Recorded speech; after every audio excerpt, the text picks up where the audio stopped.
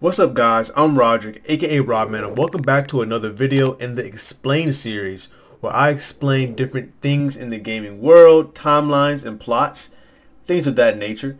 In this video, we're going to be taking a look at the Zelda timeline, which people say is some of the most confusing storyline and timeline in, in the gaming history. I don't think so, because I'm a fan of something called Kingdom Hearts, but I want to get into that in another video. But for now, let's go and take a look at the Zelda timeline where I'm going to be breaking it down. And hopefully under two minutes or so. So the first four Zelda games are very linear in, uh, in a timeline sense. They go Skyward Sword, The Minish Cap, Four Swords, and Ocarina of Time. Fun fact, Ganon is not actually introduced into the series in a timeline sense until the fourth game of the series.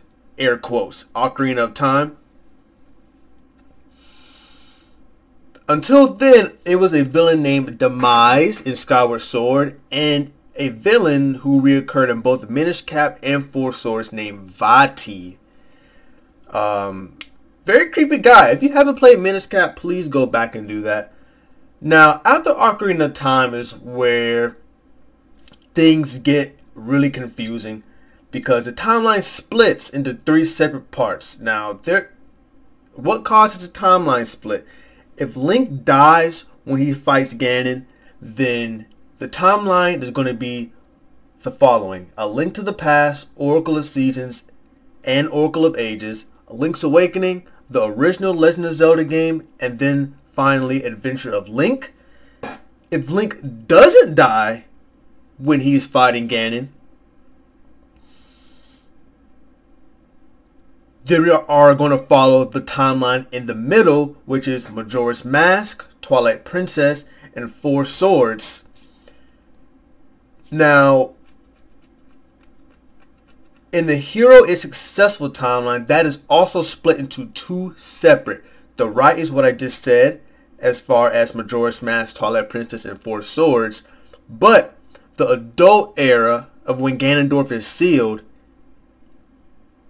Ganondorf is actually revived, Hyrule is sealed and is flooded, which leads us to Wind Waker, Phantom Hourglass, and Spirit Tracks.